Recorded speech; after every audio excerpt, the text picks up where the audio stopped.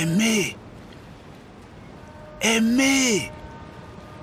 Mais entends-tu ma voix, mon frère aimé? Aimer. Lève donc le roulement de ta voix au-dessus des cyclones. Et l'Afrique entendra, l'Afrique répondra. Du haut du mont Pelé, érupte, rutilant le grand cri nègre. Et lui répondra l'espérance. C'est de la poésie. La poésie est-elle toujours opérante aujourd'hui? Le sera-t-elle toujours? En tout cas, c'est pour moi la parole fondamentale. Et le salut du monde dépend de sa capacité d'entendre cette parole. Il est clair que euh, tout le siècle que nous avons vécu, euh, euh, l'écoute de la parole poétique a été diminuant. Mais on se rendra compte de plus en plus que c'est la seule parole qui puisse être encore vivifiante et à partir de laquelle on peut, rebâtir et reconstruire.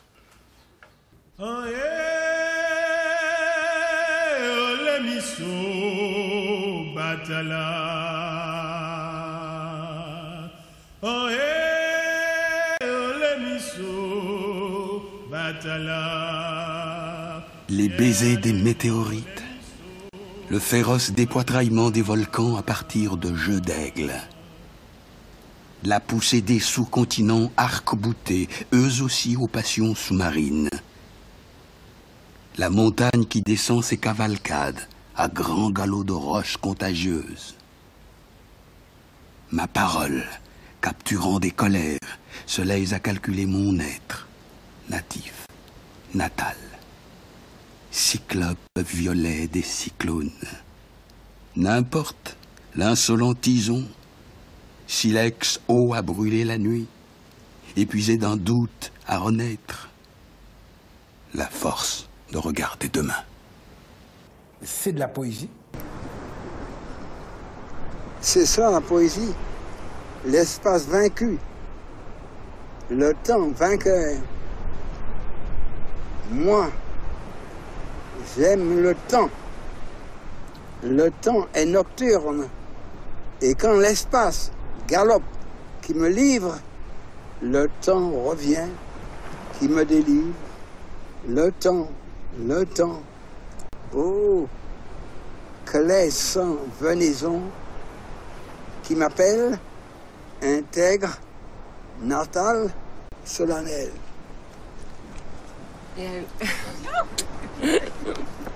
voilà. Le temps qui passe. Oui. Est-ce qu'il vous fait mal? Est-ce que vous en avez marre? Non. Nous vivons un siècle, un siècle de douleur, donc de nostalgie, en même temps de confiance et d'espérance.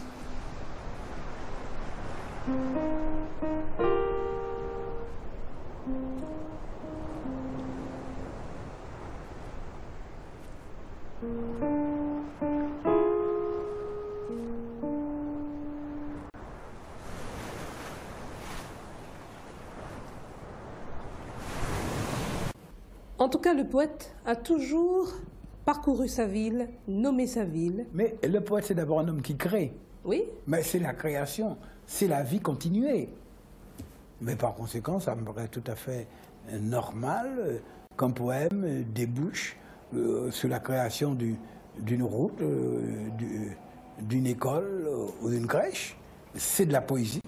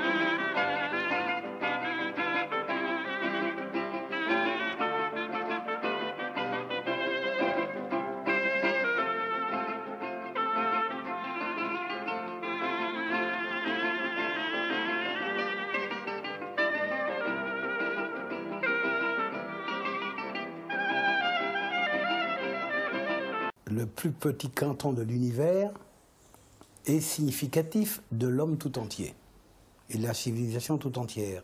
C'est ainsi que je construis la Martinique. Je ne fais aucun nombrilisme, je ne ramène pas tout le monde euh, à la Martinique, mais en tout cas, il se passe là, je trouve, qu'il y a là quelque chose, euh,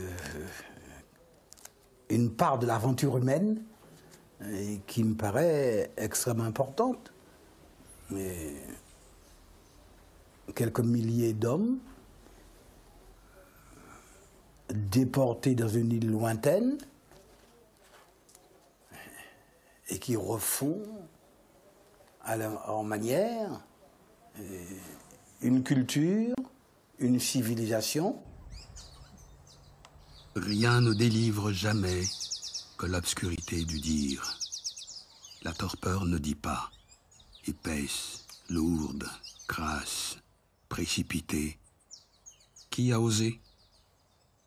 L'enlisement est au bout, au bout de la boue.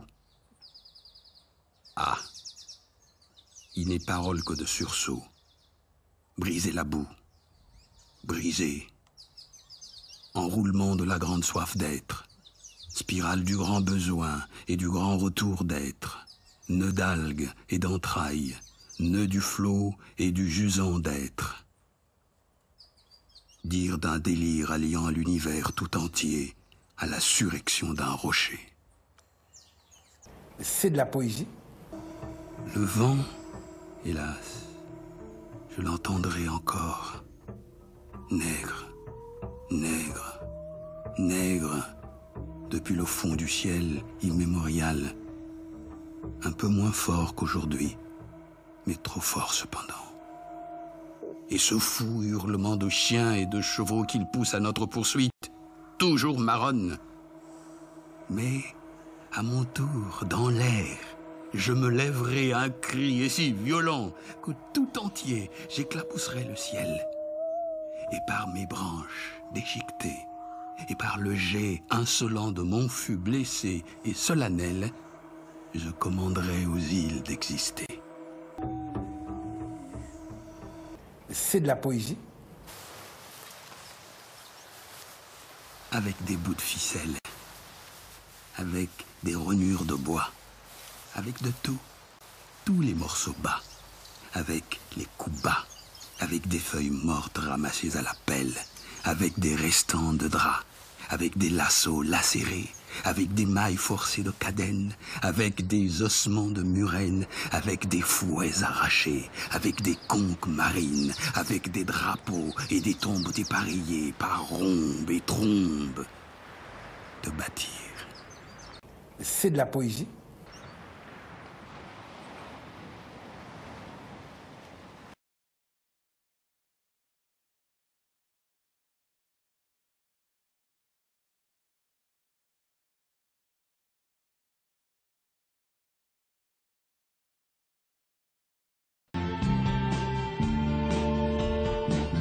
Le poète a toujours raison, qui voit plus haut que l'horizon.